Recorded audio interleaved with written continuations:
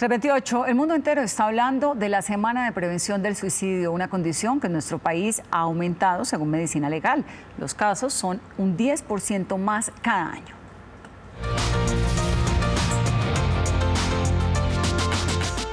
Buenas tardes. Hablemos de un tema del que pocos quieren hablar, suicidio. Recordemos que detrás de esta conducta suele haber sufrimiento y dolor emocional tan intensos que impiden ver otras salidas diferentes a la muerte. Ahí necesitamos estar atentos a identificar esas señales que las dan para buscar apoyo emocional porque el suicidio se puede prevenir.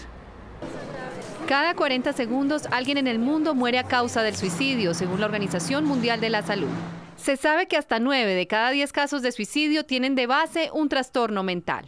La mejor manera de prevenir el suicidio es determinar que existe un cuadro asociado.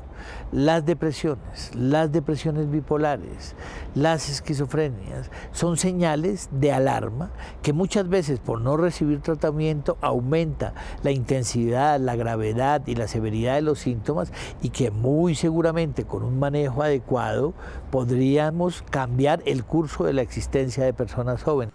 Además de los trastornos mentales, hay otros factores determinantes el consumo de drogas, alcohol, la impulsividad son factores de riesgo para esto y los determinantes sociales que nunca son ajenos, como la marginalidad, la pobreza, la violencia intrafamiliar y la violencia social. El suicidio no diferencia género, raza, edad, estratos o religiones, por eso todos debemos hacerle frente.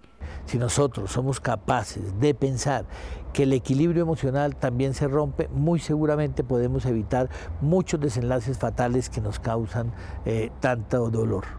Sabemos que es difícil hablar del suicidio, pero solo tenemos dos opciones, hacerlo o no hacerlo, y esa puede ser la diferencia entre la vida y la muerte. Nunca subestime a una persona que dice que quiere morirse. Superemos el estigma. Ellos en ese momento no saben qué hacer, con quién hablar. Es nuestra responsabilidad de hacerle frente abiertamente y buscar ayuda. Feliz tarde.